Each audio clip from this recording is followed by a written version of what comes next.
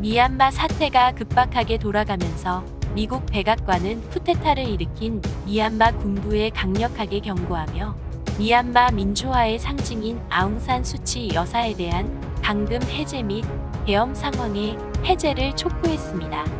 이렇게 되어가는 상황 속에서 대한민국의 항공모함 건조 사업이 주목받고 있습니다. 국토전략TV?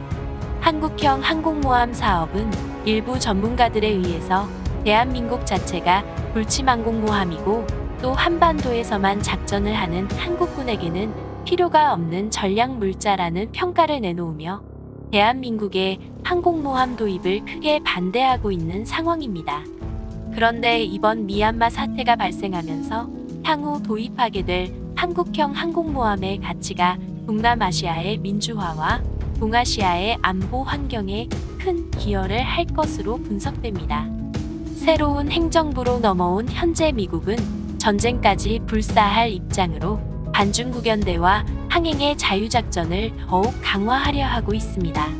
항행의 자유작전은 중공 정부 차원에서 남진아의 해역 전체를 중국의 영해로 일방적으로 선포해놓고 미국을 중심으로 한 서방 진영 국가들의 선박 출입을 완전하게 차단해버리면서 촉발된 작전입니다. 이 작전을 처음 제안한 사람은 미국 힐러리 클린턴 전 국무장관에 의해서 최초로 전개되어진 작전인데요. 그만큼 같은 정당 소속에 있는 인물이 새로운 대통령이 되어서 이러한 전략은 더욱 강화될 것으로 분석됩니다. 이 때문에 남진아의 해상에서 펼쳐지는 항행의 자유작전은 꾸준하게 일관된 미국의 세계 패권 전략으로 지금까지보다 더욱 강하게 추진될 가능성이 예상되고 있습니다. 그뿐만 아니라 민주주의 국가로 잘 성장하려 했던 신생 민주주의 국가인 미얀마가 친중 군부에 의해 장악돼 버리면서 인도 차이나 반도를 중심으로 한 주변 해역의 긴장감이 매우 높아지고 있는 상황인데요. 싱가포르의 말라카 해협을 중심으로 한 동남아시아 항로는 세계 해상 무역의 50%를 차지하고 있을 만큼 지정학적으로 매우 중요한 위치입니다. 그런 만큼 최근에 불어닥친 남중국해 이슈와 미얀마에서의 긴급 사태는 무역에 의존하는 대한민국에게는 매우 위기감이 있는 상황인데요. 그뿐만 아니라 미국, 영국을 중심으로 한 서방 국가들은 대한민국을 G7 선진 7개국 그룹 회의에 초대하면서 기존의 G7 그룹을 민주주의 10개 국가 그룹 D10으로 확대 재개편을 추진하고 있는 상황입니다.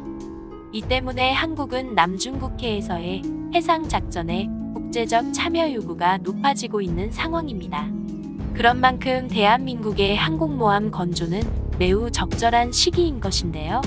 특히 영국은 이러한 해상작전에서 대한민국의 참여를 강력하게 요구하며 영국 해군 역사상 최초로 해외 국가인 대한민국의 조선소에 자국 해군 선박 건조를 맡길 뿐 아니라 대한민국의 항공모함을 병량 항공모함이 아닌 퀸 엘리자베스급의 중형 항공모함 이상으로 건조를 하는 것이 좋겠다는 의견을 내비치고 있는 상황입니다. 영국은 대한민국의 항공모함 건조에 자국의 기술 이전을 적극 검토 중인 상황인데요.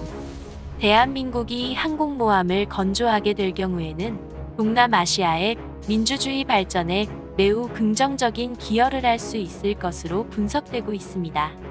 현재 동남아시아 지역은 미국과 제1세계 국가들을 중심으로 한 진영에 편입되며 민주주의 발전과 경제적 성장이 이뤄지고 있는 상황입니다.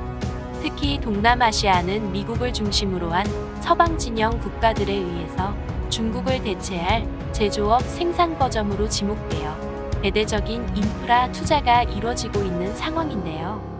이러한 상황 속에서 주요 동남아시아 국가들이 친중 세력에 의해서 정권이 장악돼 버리는 것은 매우 큰 위협이 되는 상황입니다. 이 때문에 이번에 촉발된 미얀마 사태는 미국과 같은 서방 진영 국가들에게는 다소 위협이 되고 있습니다. 전통적인 친중 세력이었던 군부 세력이 장악하게 될 경우에는 중국은 서방 진영 국가들과 갈등 관계를 빚고 있는 말라카 해협을 거칠 필요가 없이 즉시 인도양으로 향하게 될 수 있는 상황이기 때문입니다. 현재 중국은 중국 훈민과 로힝야족이 집단 거주하고 있는 차유표항을 연결하는 경제축을 발전시키기 위한 전략을 취하고 있습니다. 미얀마 군부 정권에 의해 불미스런 사태가 발생했던 로힝야족 사태 역시 이러한 일과 관련이 있을 것으로 분석되는데요. 현재 중국은 남북경제 회랑이라는 새로운 일대일로 전략을 미얀마에 펼치면서 가스와 석유를 운반할 수 있는 송유관을 건설한 상황입니다. 이러한 상황에서 미얀마가 완벽하게 중국에 의해 장악돼 버리면 서방 진영 국가들에게는 매우 위협이 되는 상황입니다.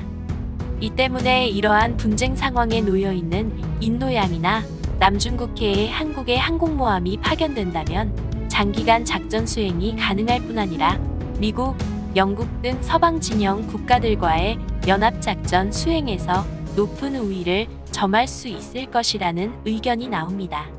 이렇게 대한민국이나 서방 진영 국가들의 항공모함이 인도양이나 남중국해에 상시 파견돼 있게 된다면 민주주의를 위협하는 군부 세력에게 강한 견제가 될 수 있습니다.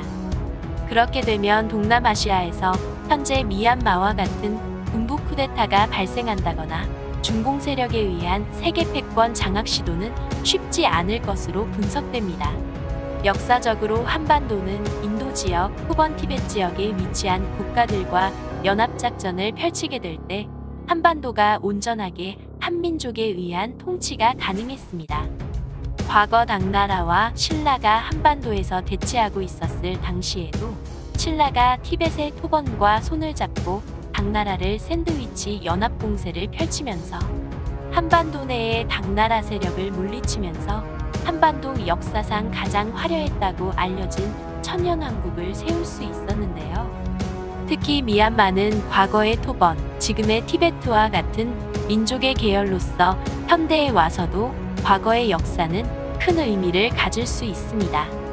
현재도 인도 지역, 동남아 지역에서 민주주의와 항행의 자유를 위협하는 세력들에 대항할 수 있는 항공모함을 파견해 장기간 작전 수행할 수 있는 전력이 만들어지게 된다면 한반도의 평화는 자연스럽게 따라올 수 있을 것이라는 분석이 나옵니다.